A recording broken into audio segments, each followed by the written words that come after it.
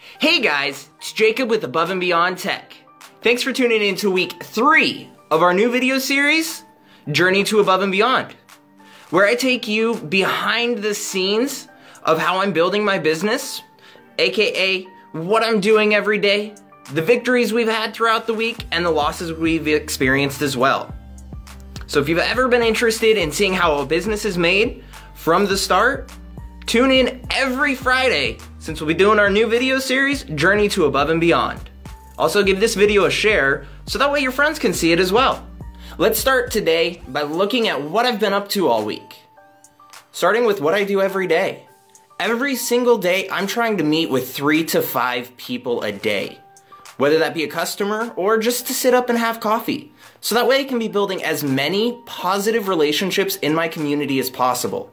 Not only am I meeting with five people a day, but I'm also making sure to do follow up in the mornings. So that way I'm making sure that I'm responding to anybody, any questions that I've gotten, or any messages that I just need to reply back to. Of course, that's what follow up is.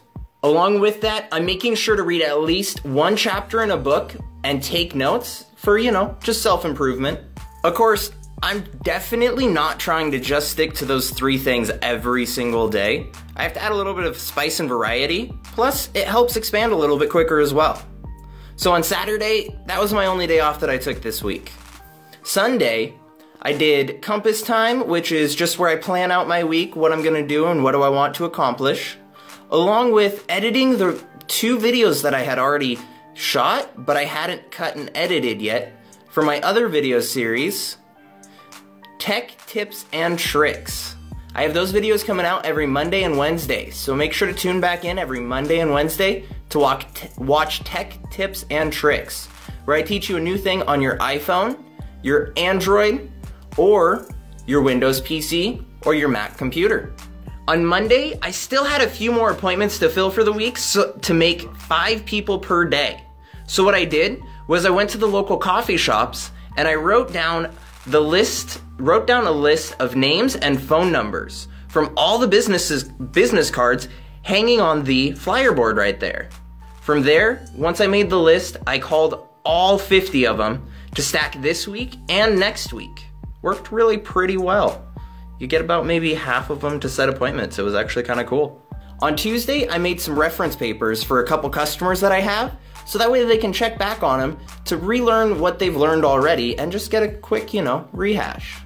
I also worked with a senior home that I do presentations at here in the area.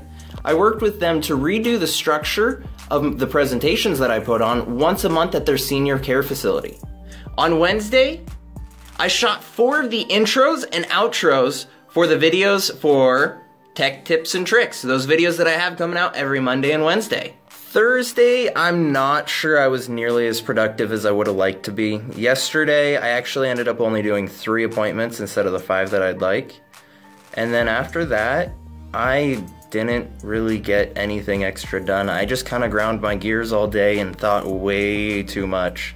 It was one of those days that you kind of look back at and you're like, man, it's kind of like a wasted day, but I still tried, still worked forward, and I'm still getting better at this system of, you know, doing something new every single day, along with having my normal structure that I do every day. So, you know, I'll pass it off as a loss, no big deal. And today, Friday, you might notice that I'm actually in a different location than usual. I'm actually inside for once. Well, today, I not only met with six people for meetups and a couple appointments, I also came to a Toastmasters event to help set up for a Toastmasters training we're doing tomorrow. Tomorrow, the local officers for the Toastmasters group are doing their yearly training, and I hope to set it up. I might not be a, an officer for Toastmasters, but you know, it's one of the groups that I really enjoy to go to. So I figured I'll come over, help set up the, uh, the tables and the chairs for tomorrow's event, so that way I can come and enjoy that. As far as this week goes with victories and losses, I feel like it might have been a little bit more of a loss week than a victory week or I might have just had a little more built up than I thought I was really gonna get.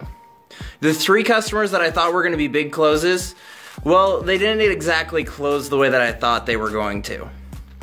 Uh, so that was kind of a loss. Along with that, I feel like Thursday was a loss as well, so I didn't really uh, feel like I actually had a wasted day. So, you know, it, it's feels like this week wasn't as great as it could have been. But I still had some really nice victories. Two of those customers that I thought were going to be actually really big closes still came out to be pretty good, you know, good customers to have. And so I'm really grateful and happy to have more customers. Along with that, I also set next week up to be incredibly busy. So I'm hoping next week I get a few more as well. You know, as far as it goes, I still got more customers. I have another shot with one of those really big closes that I thought I was gonna have this week. So really, I still have a ton to work with.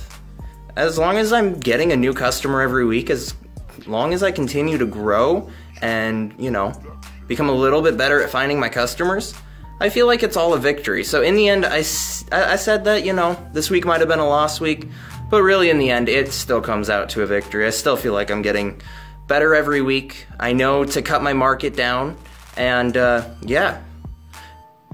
I also, of course, need to tell you what I learned this week.